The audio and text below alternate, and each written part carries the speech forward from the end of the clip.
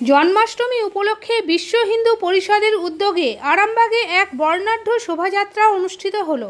শনিবার সকালে এই শোভাযাত্রা আরামবাগ শহর পরিক্রমা করে। নেতৃত্বে ছিলেন সংগঠনের তারকেশ্বর জেলার সম্পাদক লক্ষ্মীকান্ত গুপ্ত।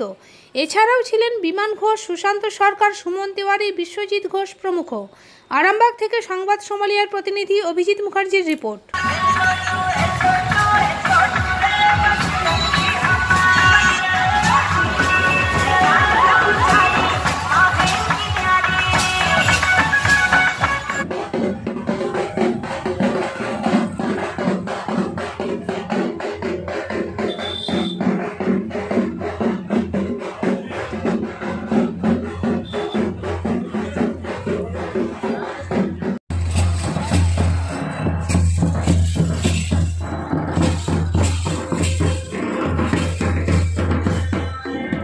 শোভাযাত্রা হচ্ছে এই পুণ্যতিথিতে শ্রী ভগবান শ্রীকৃষ্ণ এই ধরাধাম এই ভারতবর্ষে জন্মগ্রহণ করেছিলেন, অধর্ম বিনাশ করার জন্য, ধর্ম প্রতিষ্ঠা করার জন্য।